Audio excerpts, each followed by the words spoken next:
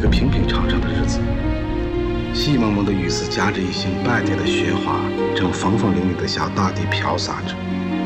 四零一快到景致，雪当然再不会从留，往往还没等落地，就已经消失得无踪无影了。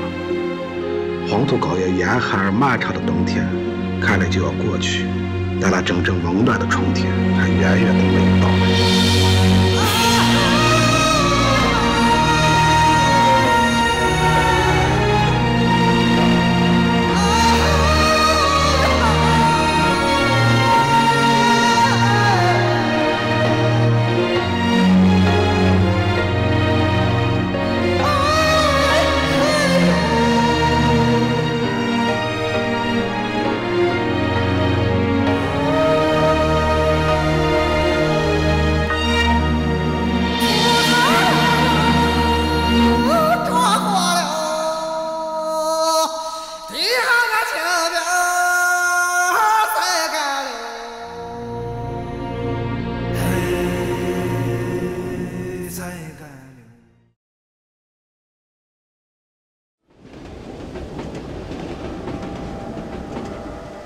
这里啊，就是我最喜欢来的地方。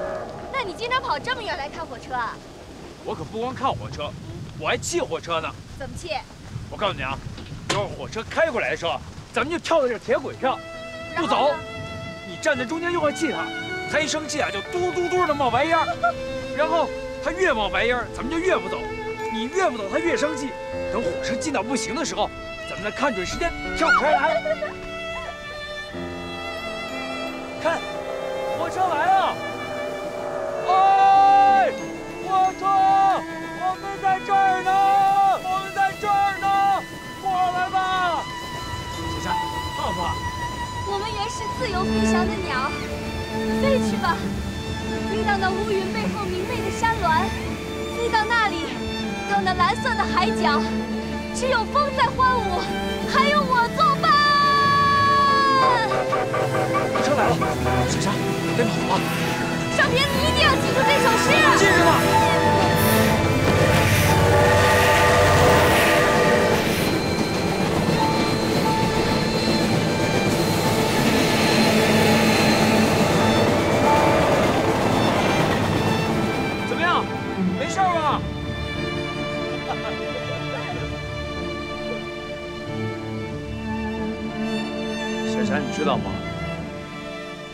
我觉得，我应该是那个坐在火车上的人。不管他下一站开去何方，总有一天我会扒上火车。他开到哪里，我就去哪里。孙少平，他也许一辈子就是一个普通的人，但他要做一个不平庸的人。过了几天，在少平的生活中，突然出现了一件他想不到的事儿。学校根据县宣传部和文化局的指示，要组织一个校一级的文艺宣传队，巡回到各个公社去宣传演出。孙少平，我才是真正的杨子荣。烫烫忒，春里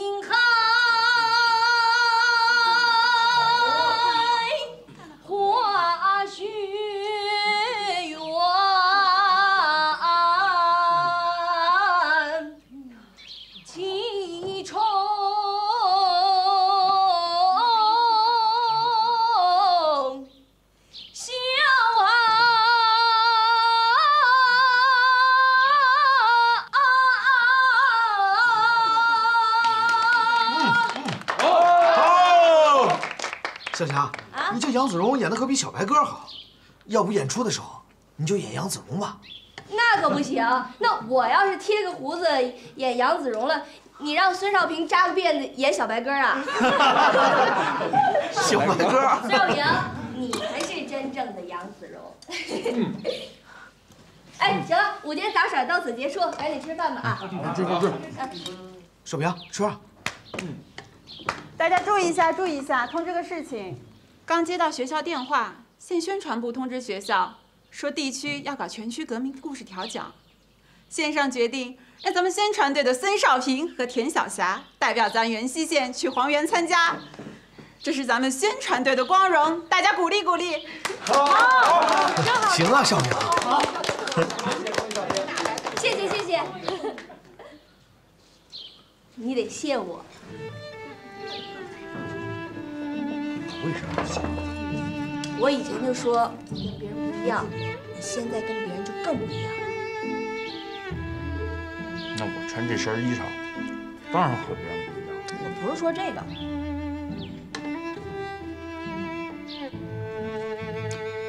这么说，我是该谢谢你。我现在去学校打饭，还是和以前一样，吃我的饼菜，拿我的黑米馍馍。可我现在再也不躲着了，我就大大方方的吃我的点菜，大大方方的吃我的黑米馍馍。哎，这才是真正的孙少平。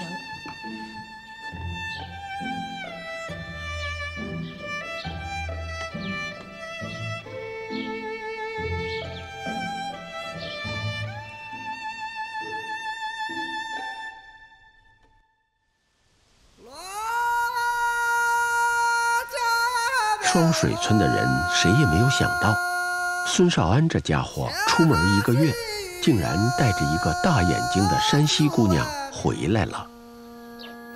哎呀，社员同志们，一年一度的大枣节又来了。现在，我代表双水村党支部宣布，开园大枣过节啦！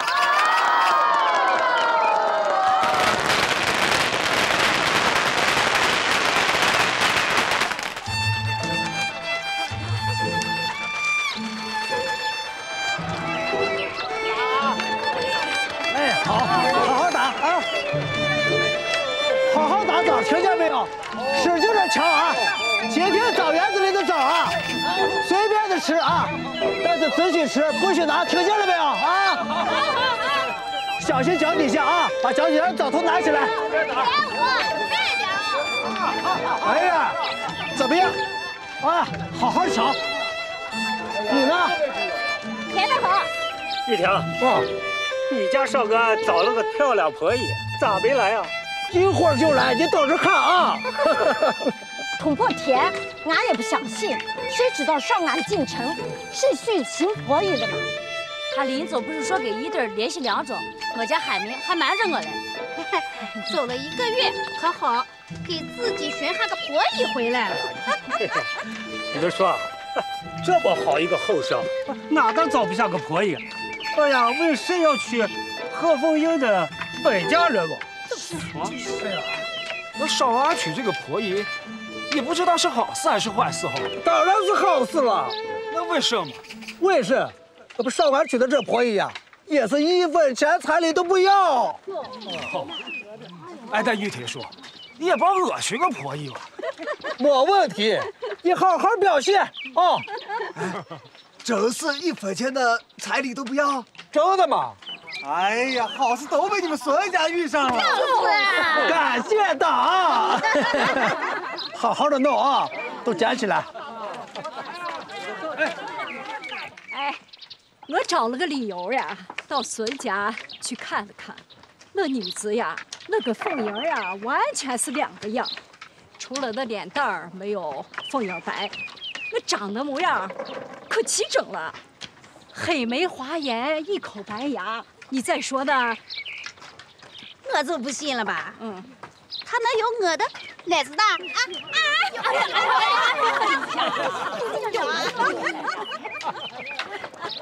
我跟你说啊，让我没想到的是哦，哎呀，那女子呀，到了少安家的那破摇篮洞里。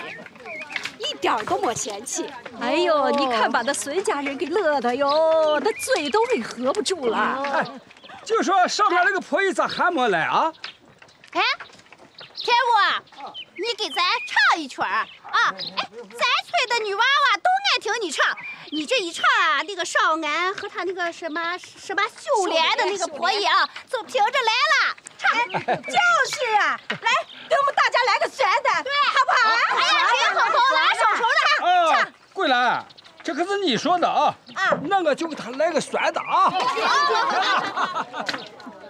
啊，叫一声那个干妹子掌柜来呀嘿！掌柜来呀嘿！你爱那个酸来，我给你来点酸干妹子嘞！干妹子一个真正的清幽啊，超级啊！哎哎，哎呀，谢谢师啊！去山叔，介绍一下我婆姨啊！哎呦，哎呦，我真醉了！去吧去吧！哎呀，你不要喊！妈来了，少安的新媳妇来了，在这边呢，咱去看看去。这不是婆姨，还没有登记呢。哎呀，你看看二爸，不高，改别这万家说，姐夫，看着婆姨那这个少安呀，你这个一队队长，过去天不亮你就下到地里干活了，现在你看。太阳都照到屁股门子上，你才吃药了啊！就说你钻在窑里做什么了啊？就是娶一个媳妇嘛，看把你给累的！哎呀，你想的事儿呀！马又说，我们现在就是把亲事定下来了啊，还没有登记，呢，不敢叫婆姨啊。马又说，你要再乱讲话啊，我可把你这脑袋塞到裤裆里，让你老王看瓜了。哎呀，这干什么？这这这哎！听我说。闹我老汉干啥？你看，少安把媳妇都领回来，要闹闹少安吗？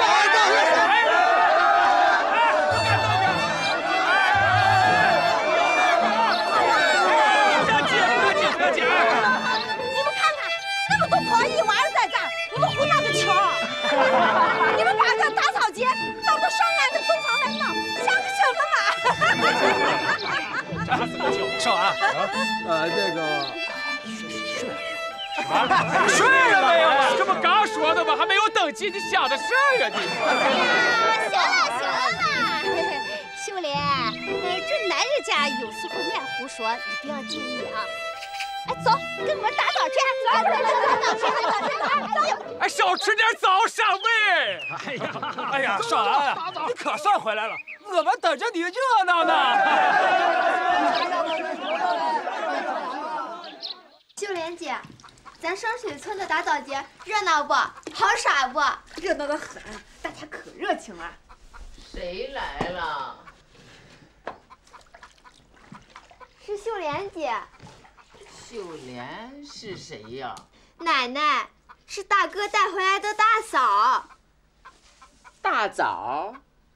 玉玉后，大嫂是谁呀？哎呀，妈。爸。哎。我来帮你扫。可不敢不敢不敢！哎呀，你大嫂累了一天了，不敢让你干活嘛啊！来，那行，来行，快做做饭去。哎哎，我来我来我来。哎呀，哎呀，你你可不敢让你干活啊！你你歇着嘛啊！我去闺女。柴火。行爸，秀莲从小就不娇惯啊，让她干吧没事啊。少安，哎，你带的这个女子长得真俊。你看你奶奶不糊涂，心里清楚的很，着急着嘞。哎。可是不能让人家干活去打把手去哈！哎呀，没事，爸，你让她干吧。哎，你这个女子真是好，一进门哈，这这还没登记嘞就叫爸。哎，可不知道是该答应还是不该答应。哎，那个柴火没了，我还想劈，没找到斧头呢。好斧头，哈哈哈。那啥，我我我给你找去哈。润燕，你来，你来，润叶，你给我带点心了没有？嗯，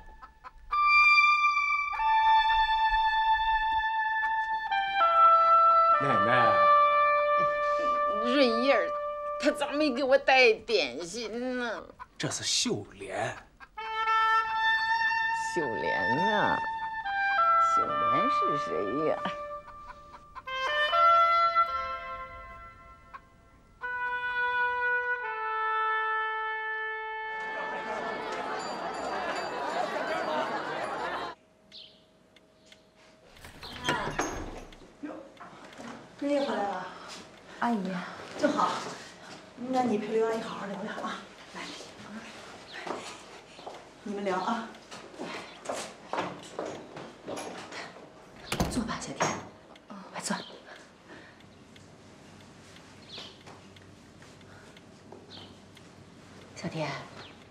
有什么困难，有什么需要帮助的，你就尽管跟我们说啊。阿姨有几句话，想跟你谈一谈。阿姨，我没什么困难，也不需要什么帮助。您跟我二妈已经跟我谈过几次了，您要说什么，我知道。小田，你也给阿姨说句心里话。你对向前，还有我们这家人做的这些个事儿，是不是都反感透顶了？但我想，你不至于怀恨在心吧？没有，阿姨，我知道你们家对我都是真心的，对我是真的好。如果是别的什么事情，您让我干什么我都会答应的。可这件事情不一样，他毕竟是要我把整个人都要交给一个我并不能接受的人。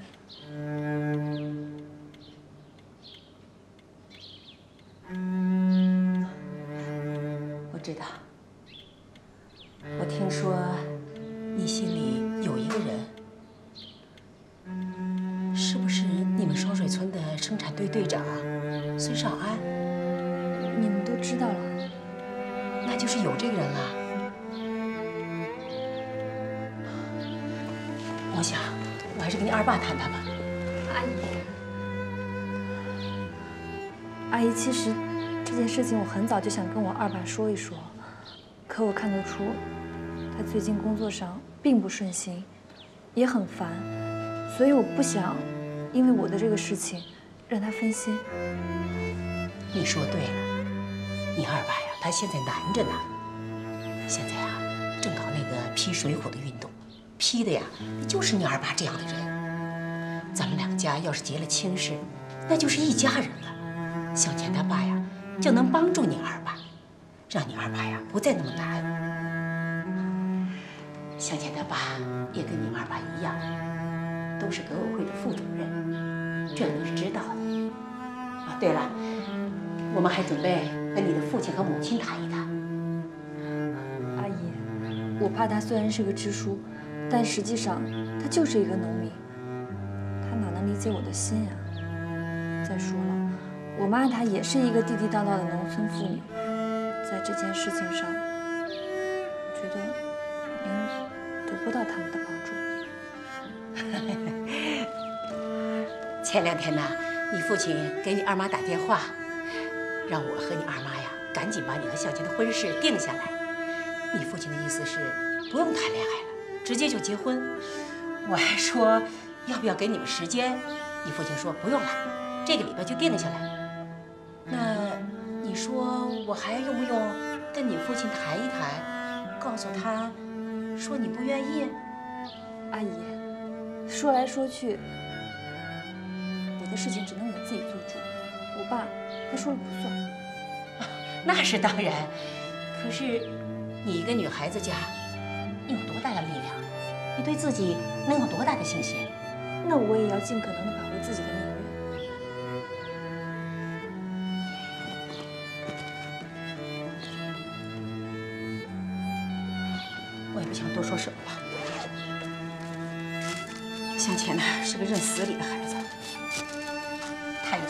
杀威胁过我们了。向前自杀？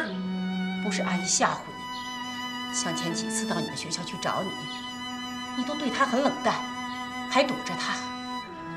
我们向前不傻，他现在啊是钻进对你感情这个牛角尖里出不来了，就逼着我和他爸给他想办法。还用刀片划自己的手腕，我们做父母的看着着急，所以就找了你二妈，想让你二妈再跟你谈一谈，希望你能做向前的媳妇。自杀。生活啊生活，为什么给他出这样的难题？如果没有个李向前，他现在仍然会像过去一样。安安稳稳而又忙忙碌碌地操心着工作，内心平静得像一湖湖水，这是他最乐意的。可是为什么要给这湖面投进一块石头？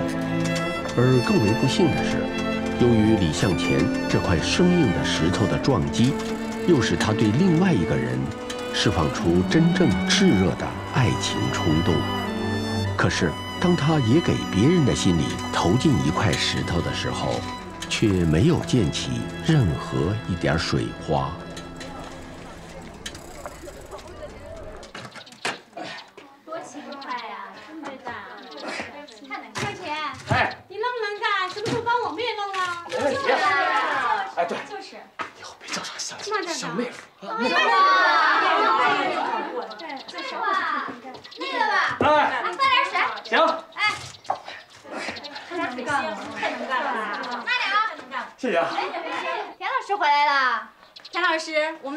你的对象呢，你看多能干，就是，可能 真能干。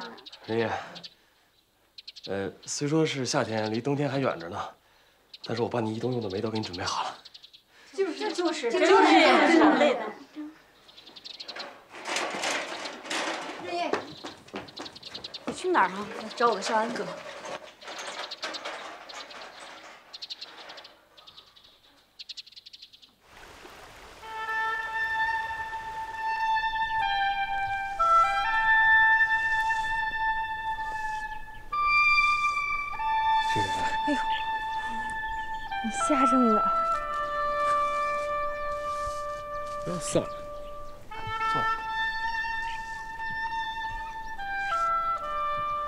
在家里陪着奶奶，闷不？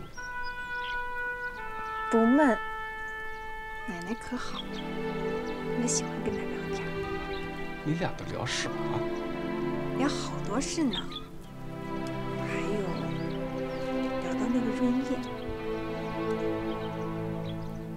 润叶比我好。奶奶岁数大了，不要听我也想给奶奶买点心，就像润叶一样。我从山镇来的时候，我爸给我钱了。哦，你爸今天来信了，说问你在这咋样，问你什么时候回去。不要撵我，你是不是嫌我在家里吃闲饭了？那等明天，我跟你一起上山，跟你出工去。不要胡想嘛！你走的时候不是和你爸说了吗？住个四五天，我怕你在这等的时间太长，他们操心。你要是再撵我，那就说明你心里嫌我不如那个润叶。啊，秀莲，我现在把这个话说哈啊，以后你不准再提润叶这个名字啊，能行不？我舍不得离开你。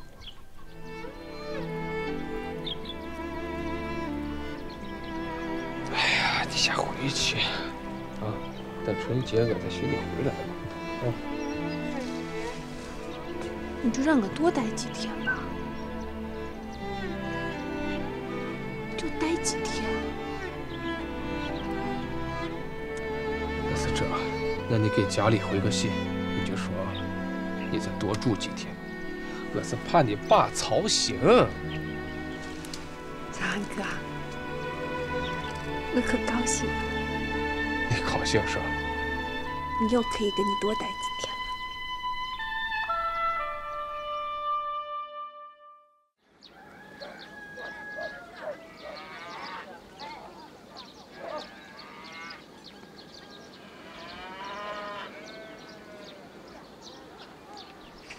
来，狗蛋。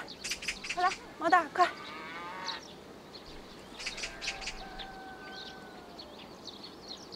爸。哎呦，兰花。咋来了？少安和秀莲还说要罐子沟看你去了。我等不及了，过来看看来。毛蛋，带狗蛋去那边玩啊！哎。你跑过来干啥？咋？筹少安结婚的钱嘞。是的，虽说秀莲家不要彩礼，可咱咋也得给秀莲车几身新衣裳，也得给他爸做套新铺盖，回一件羊皮大氅。这是礼数。少安也不能穿着旧衣裳当新女婿。这零七八碎的算下来，三五十块钱根本不顶事儿。哎呀，玉婷结婚那阵儿啊，家里那么困难，我都咬着牙办的有声有响，体体面面。这少安娃结婚，咱也不能没面子。老花，你帮爸再算算。办席不？办。我这盘算着，少说也得小一百块嘞。猪杀了。猪杀了要吃肉，咱这酒席上的猪肉不要买了。今年卖不成肉了，粮食的问题，咱得另想办法。咱家的口粮大部分都是粗粮，也拿不到席面上。最关键的就是这现钱，咱找谁？借这些钱来。村里也就那几家有，海民的媳妇儿，呃，烟花连头公公不给借钱，也不可能借给咱。俊武能有点他和少安的关系一直都挺好，可他毕竟是金家湾的人，不好张口，也不能找福堂。咱总不能管人润叶姐吧？是的，咱对不起人润叶姑娘。再有就是这住处，咱也不能让弟弟弟妹一结婚就没地儿住啊。是啊，少安一结婚，不能再住在老窑里。可是顾心要我得找地方，怕来不及呀。春节就要办事土都冻着，把人肠子都抽断了。我不能用，那是你的新房。我用不上，这口窑空着也是空着。哎呀，你这个人真是，真是气死我了！我走。哎哎哎，我你这个事还没有说明白。少安，我不能。少安，你们咋也来了？啊，我们来说你结婚用窑的事儿啊。什么窑？咋了？哎，你说你你你说吧。啊，我和万家叔商量好了，把一队饲料室那个放种子的窑啊腾给你，把种子放到万家叔的窑里，这样你在那个窑里住个一两年，那没有问题嘛。哎，你不敢这，那是公家的地方，你想什么呢？哎呀，没事嘛，我们都同意了。对，少安，这有什么呢？就去住吧，我能有你俩新人陪，哎，是求之不得的呢。要不我一个人住在那儿，哎，就是被狼吃了也没人知道。不行，什么不行？你知道我们说什么你就说不行？我们一队的事，你们二队凭什么说不行啊？我那口窑宽敞着，少安已经应下了。一队的人就得住一队，宽敞什么？宽敞管什么用？我我跟你说，你甭管了，你甭管。哎哎哎，不要多跟说，不是。哎呀，行了行了行了，你们都别吵了。让我说，让少安的媳妇选，看她愿意住在什么地方。让我选。哎哎哎哎，好好好就不要难为秀莲啊。这样，你们这个心意我们领了啊。等我爸回来，我们商量一下再决定，到底是用哪口窑来结婚。少安，一个是二队的队长，一个是一队的副队长，他都愿意上门帮你啊。我之前因为分这个猪饲料地的事，我私自给社员多分了一些地，受到了公社的批斗。他们就在心里感谢我这个队长吧。这也是好事嘛，说明人家心里想着你。哎，少安，你咋回来了？哎呀，我想了想，你光有窑不行，你还缺粮嘞。你跟我回家里商量这个事。可有一样，我本家哥俊山哥来，你一句不要讲，就听我说。是嘛意思？哎呀，你走走走走，跟我走，走。不是跟你哥也说什么？你看你也不说。你俩过来。来来来。咋了这是？你俩在这儿啊，等着，站着不要动。咋了你？不要动。俊武，你让我在这儿等着你有啥事儿啊？哎呀，军山哥，家里有没有一点余粮？啊，你要粮食？有啊，要多少？我不要。少安春节的时候啊，可能要办事，需要一点粮，你能不能接上一点？哎呀，俊山说不用。哎，你不要动。俊武，少安家缺粮，我早就想到了，用不着你一句话一句话的在这逼着我。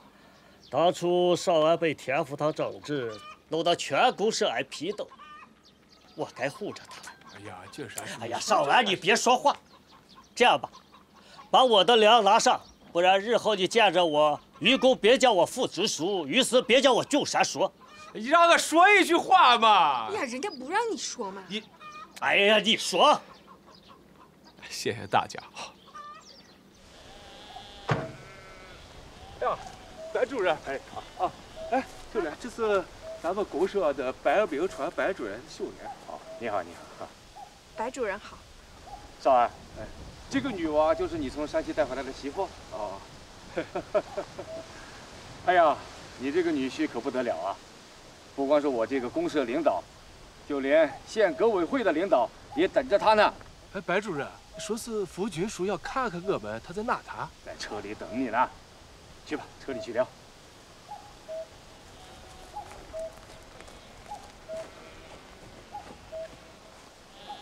副军说。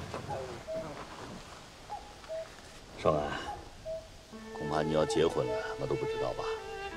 咋了？把你收当外人？呀，叔，你这话说的，这不是日子还没有定下。那我们要是结婚登记前，我们肯定是要告诉你的。我不进村在这等你，是为了避嫌你。这么些年，我没有回过自己的家。小安。村里的光景咋样？还是老样子吧，反正是拼命的过光景，越拼命，日子越烂。庄稼人的日子，啥时候能有改变？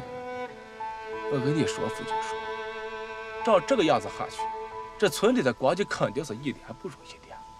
现在都在这混工分，你说有几个正命劳动的人，就是再正命。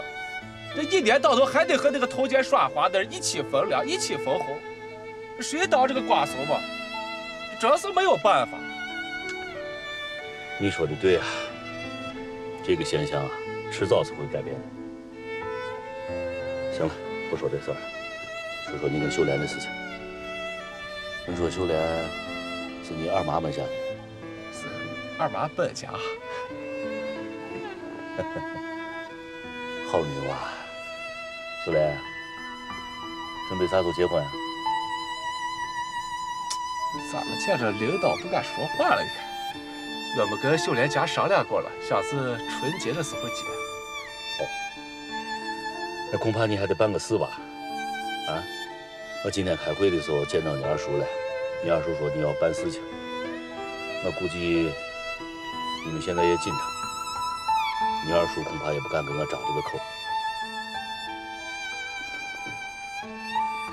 我今天来找你啊，就是为这事儿。你先拿着。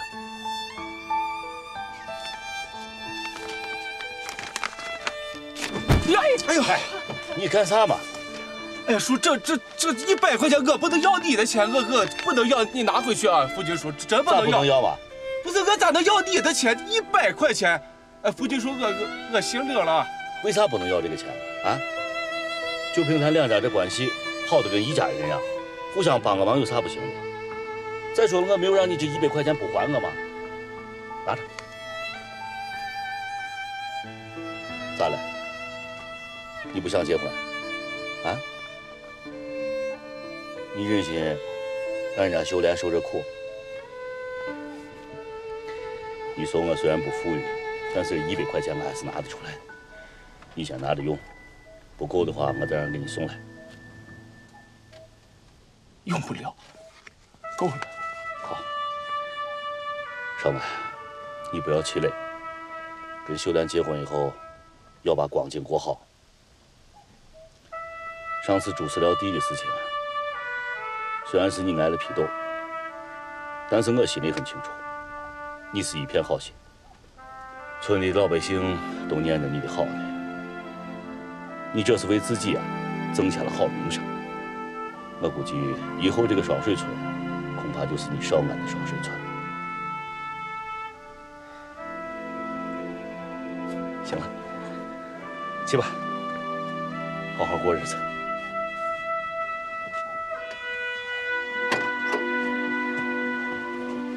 再见。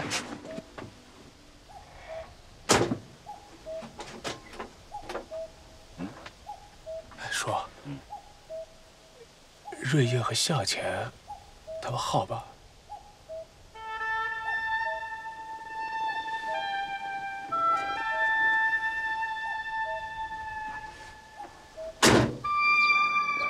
少安哥，我怕我配不上。啥？这村里的人都把你的事当自己事办不说，就连县里的大领导福军叔，呢，还给你送这钱，我真怕我配不上你。胡说个甚啊？你咋会配不上我？我听你和福军师说了，那个润叶还没跟那向前好着呢，他是不是心里还装着你呢？你把我从山西带回来这事，他知道不啊？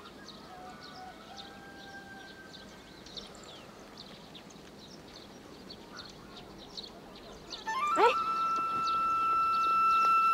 走哪呀？这是福堂说，我们村的支书，润叶的爸。福堂叔，哦，这是我朋友秀莲。呃，咱我给你们倒上些水吧。不要喝了。我今天带着溥仪过来，就是想让你心里高兴。你以后不要再担心我和润叶的关系了。李向前和田润叶一定能好。说啊，说句实在话啊，我这个人有些怪。你看这该高兴的事情，我又高兴不起来了，就好像一个什么东西丢了，再也找不回来了。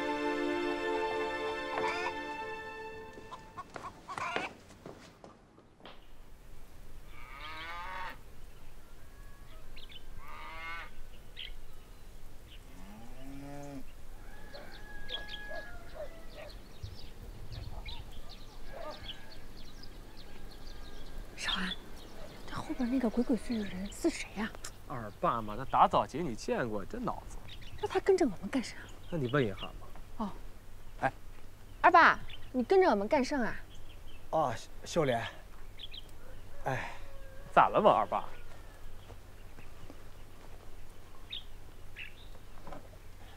咋了，二爸？擦手白面。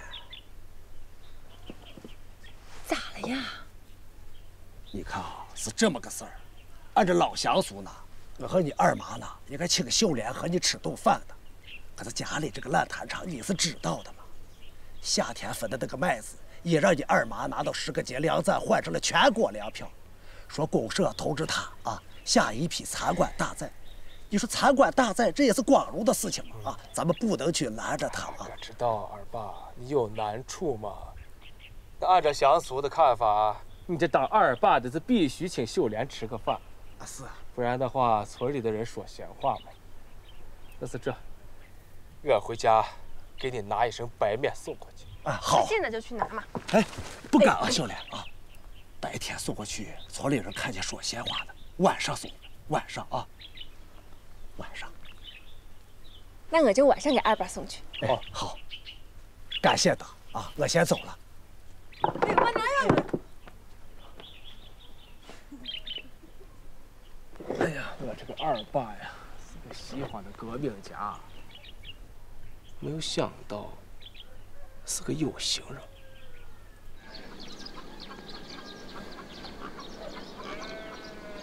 哎，我弟少平，秀莲，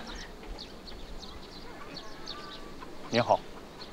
啊，握手。你好。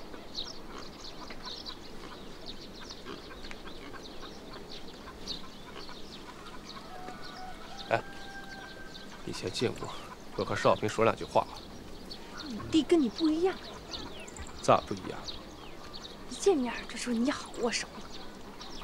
你先进屋。哦。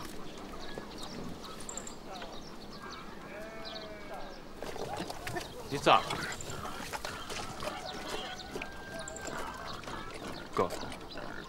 我敬重你带回来这个嫂子。她就是因为看上你这个人，她就可以不要彩礼跟你回来。单凭这一点，我打心底里敬重。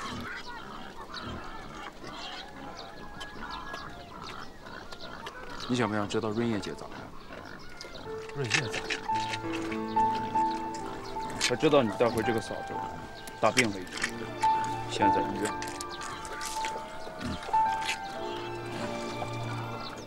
你好。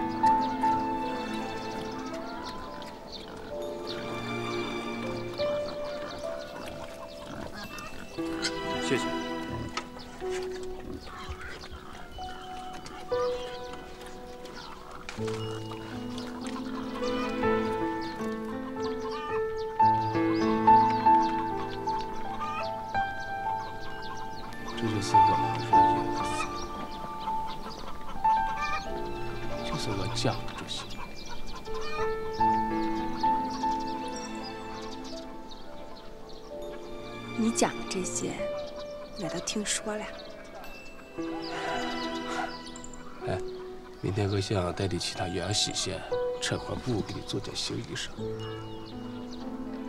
润叶不是病了吗？我顺道也去看他一回。你去吧，我高兴着嘞。俺家的少安是有情有义的人，那你要是不去，我反而觉得看错人了。我求你答应我件事。我也想请你答应我一件事。那你先说嘛。你先说。明天你去看润叶，带着我一块儿去。